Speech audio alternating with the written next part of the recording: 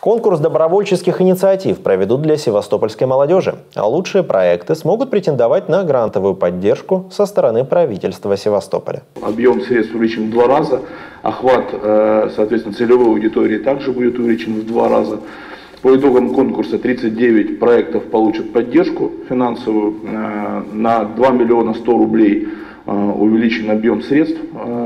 Итоговая сумма средств составит 4 миллиона 400 тысяч рублей, которые ребята пройдя процедуру конкурсного отбора, получат на реализацию молодежных и добровольческих инициатив. Размер гранта будет составлять от 50 до 200 тысяч рублей, в зависимости от их масштаба, охвата и прочих критериев. С момента вступления в силу постановления правительства запускаем отбор в течение 30 дней а, принимаем заявки, соответственно, там, в течение 15 дней проводим конкурсный отбор, и к декабрю мы уже будем готовы на основании проведенного отбора деньги предоставить э, нашим физлицам, генераторам а, идей. Отчеты реализации грантов в следующем году? Конечно, да. И весь период следующего года гранты будут реализовываться.